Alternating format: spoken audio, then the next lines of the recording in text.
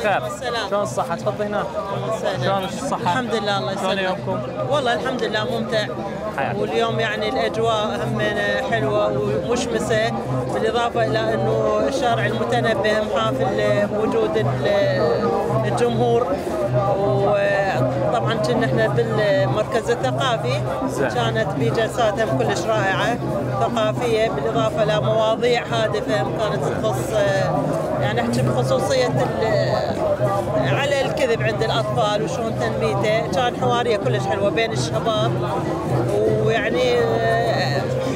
هذا أشياء حلوة لطيفة جدا. يعني شلون مثلا آه، تثقف الشباب طيب يستفاد من الطفل هذه الندوات؟ يستفاد من هالطفل هذه الندوات؟ هسه هي حاليا آه، تنمي الكبار حتى يتعاملون ويا الأطفال. يتعاملون مع إي نعم. يعني شنو السلبيات شنو الإيجابيات شنو الأهل شلون تتعامل ويا الطفل حتى لا ينمي الكذب عنده. مثلا عندك طفل عمره ثلاث سنوات أربع يكذب كذبه. صح. إحنا بمصطلحاتنا العامية نسميها كذبة بيضة. لكن هي ما لها كل هي. ماكو ما لها لون ما لها اي هي لا كذبة. كذبة كذبة. من راح تشجعه وتفرح بيها راح شنو شوية شوية إلى ان تصير كذبات إيش كبرين ويجمن بيوت بعدين. زين. فهنا وجهنا إنه شلون إنه تعالج هاي الكذبات عند الطفل أحسن. زين.